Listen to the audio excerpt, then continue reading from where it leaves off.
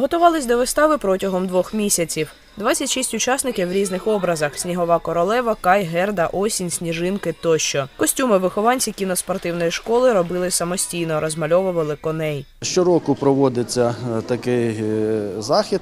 Е, Це є традиція. В минулому році не проводили по технічним питанням. Ми проводили реконструкцію даного приміщення, де ви ще знаходитесь. Називається воно зимовий маніж. Е, То в минулому році не було. А так щороку, і це хочеться, тому що змагання це одні вимоги, а свято це другі вимоги. І хочеться кожному спортсмену себе показати в другій формі, в другому виді і в другій ролі прийняти участь. Тренер Тетяна Пруднікова каже, кінний спорт це важко, потребує багато часу та тренувань.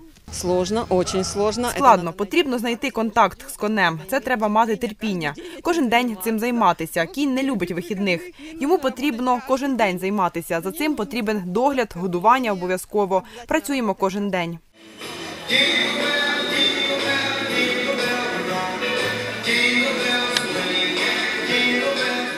14-річна Карина Черно кінним спортом займається три роки. У майбутньому хоче бути професійним тренером з конкуру.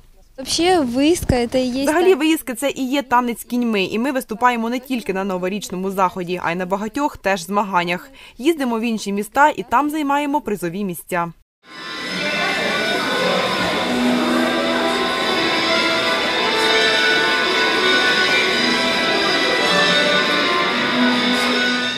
Софія Антюфєєва розповідає, з дитинства дуже любить коней, тому вже три роки займається кінним спортом. Каже, підготовка до вистави була напруженою. Очень было тяжело, это то, что лошадь очень пугается трибун. Они темные, как бы много Дуже людей. було важко. Це те, що кінь дуже лякається трибун. Вони темні, багато людей, і деякий конфуз був те, що боялися коні.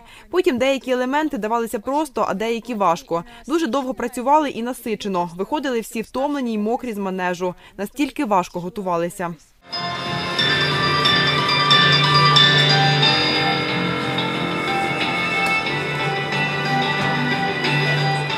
Валентина Гурова, Юлія Кускова, телевізійні новини Миколаївщини.